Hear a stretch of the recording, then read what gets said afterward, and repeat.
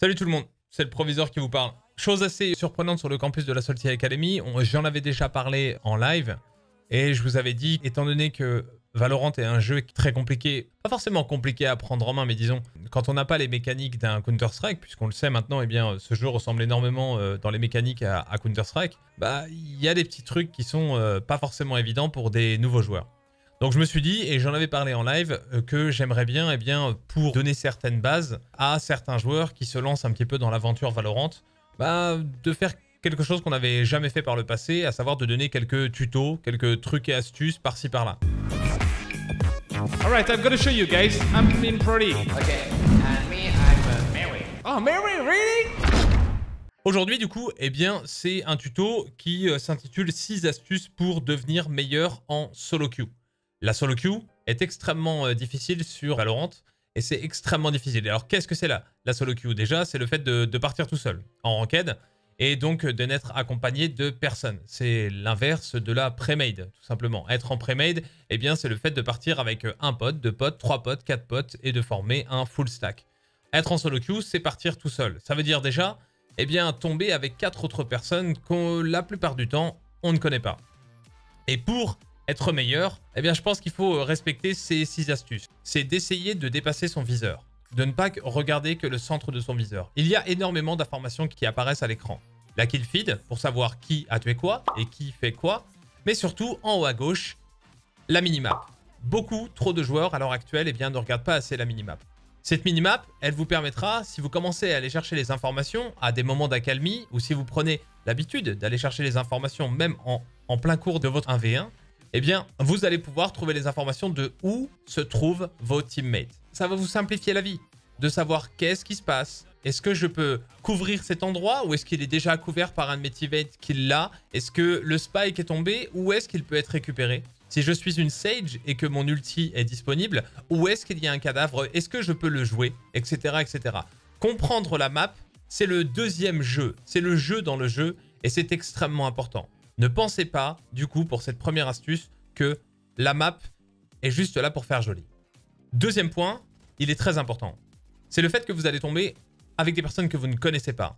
Vous allez tomber dans un groupe social avec des personnes que vous ne connaissez absolument pas, qui souvent ne parleront pas votre langue. Et Dieu sait que ce sera parfois difficile de communiquer avec eux, mais faites-le. Tilter, ou tous les aspects de la mentalité, sont ce qui fait que la plupart du temps, dans 60, peut-être 70% des cas, quand vous perdez, ça part de là. Ça part d'une petite remarque que l'on a fait à un joueur de façon un peu négative. Ça part de souvent, et eh bien peut-être deux joueurs qui se prennent la tête. Et vous ne pouvez pas rester euh, neutre par rapport à ça. Essayez toujours de calmer les esprits, de dire écoutez, c'est pas très grave, c'était juste un écho, c'était juste un gun round, etc., etc.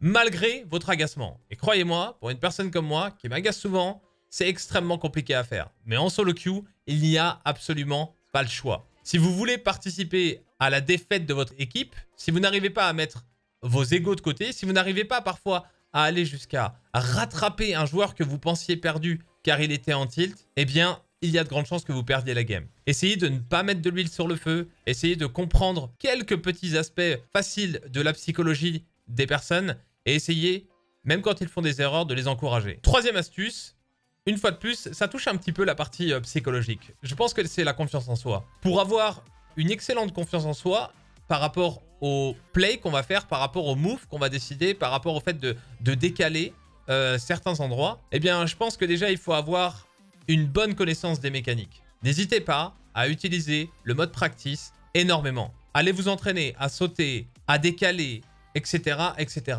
Plus vous passerez de temps à comprendre les mécaniques, plus ces mécaniques seront pour vous naturelles, et plus vous serez confiant. Et plus vous serez confiant, et moins vous aurez peur de faire les décales, moins vous aurez peur de passer en premier, etc.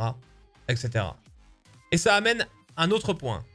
La problématique, c'est que quand on n'est pas confiant, on laisse parfois passer des personnes devant soi qui, elles, sont un petit peu plus confiantes.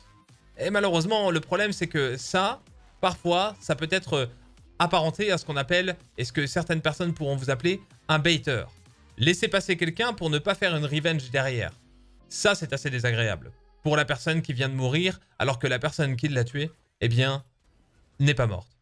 Donc faites extrêmement attention à ça. Travaillez vos mécaniques pour avoir confiance en vous. La confiance en vous est un élément indispensable pour performer en solo queue. Quatrième point, la composition de l'équipe et des agents. Ne croyez pas un seul instant, si vous commencez avec Jet, Phoenix, Raze, Viper, eh bien, vous aurez les mêmes chances de gagner euh, que si vous preniez eh bien d'autres agents. Il y a des compositions. Comme je l'expliquais tout à l'heure, il y a des, des méta, des Most Efficient Tactics Available, pour définir par exemple sur une map le fait qu'on va plutôt prendre, mettre trois personnes ici et deux personnes ici. C'est un petit peu pareil dans les teams composition. À l'heure actuelle, il y a des agents qui sont plus importants que d'autres. Alors certes, un agent par exemple comme Jet, prenons son cas, est très intéressant et peut faire extrêmement mal. Mais elle va vous demander énormément de confiance en vous. Car la problématique de Jet, c'est qu'elle joue pour elle-même. Et elle ne joue pas pour l'autre. Une Jet, si elle ne fait pas ses kills, euh, ne pourra pas faire grand-chose pour son équipe. Prenez l'exemple, par exemple, d'un Cypher. Le Cypher met un piège, et même s'il venait à mourir, ce qui serait malheureusement dommage, eh bien, le piège sera toujours là et pourra être utile à son équipe. C'est la grande différence avec ça.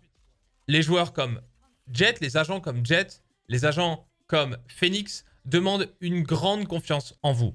Ça ne veut pas dire qu'il ne faut pas les prendre, mais à l'heure actuelle, il y a des agents qui sont plus simples à jouer. Je pense à Brimstone, je pense à Sage, par exemple, je pense aussi à Cypher, pour faire des kills faciles et en particulier en défense. La cinquième astuce, elle est un peu euh, simple et compliquée à la fois. Si vous voulez gagner en solo queue, ne soyez pas individualiste dans vos communications. N'hésitez pas à faire ce qu'on appelle du shot calling. Donnez l'endroit où vous pensez qu'il y a quelqu'un. Donnez l'endroit de l'agent qui vient juste de vous tuer. Donnez son nombre de HP pour peut-être encourager la personne qui est derrière vous à effectuer un refrag parce que vous l'avez énormément amoché la personne qui était devant vous. Brimstone, low HP, one bullet, etc. Ce sont des termes qui la plupart du temps il faudra apprendre à expliquer et à dire en anglais. Donc n'oubliez jamais la communication et la mise en place d'un plan de jeu lorsque vous parlez avec les teammates, même si vous ne les connaissez pas. Pour la sixième astuce, si vous avez un petit peu de mal à faire vos ou à trouver votre confiance, n'hésitez pas à utiliser, sans pour autant vous dire que ça va être une promenade de santé, n'hésitez pas à vous dire que euh, la défense est en règle générale plus facile que l'attaque.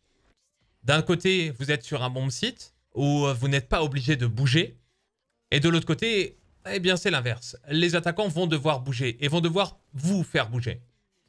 Du coup, n'hésitez pas à aller chercher cette confiance en vous en prenant des agents qui sont un petit peu plus defense-sided au début euh, que des agents offensifs. Certes, Raze fait énormément de dégâts. Certes, Raze fait kiffer et elle est extrêmement sympathique à jouer, même à haut niveau.